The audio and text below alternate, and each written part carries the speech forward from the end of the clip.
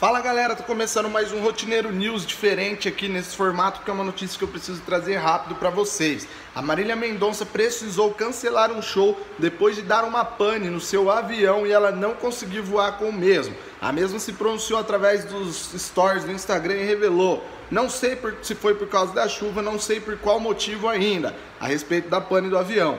Ela ainda confirmou: caiu uma chuva fortíssima e não conseguimos decolar. Ainda segundo informações, galera, vocês lembram que eu tinha feito um vídeo aqui recentemente que o vidente Lindomar havia previsto que um cantor sertanejo poderia morrer em um acidente de avião nos próximos dias. Bom, é, ao que tudo indica, pode ser que a cantora Marília Mendonça conseguiu ter um livramento aí do que poderia acontecer com a mesma caso esse avião conseguisse sair, né? Ela revelou que ainda não sabe o motivo, mas o que se sabe é que deu um problema no avião e ela não conseguiu decolar, podendo assim ter se livrado até mesmo de um acidente, como o vidente Lindomar já tinha previsto.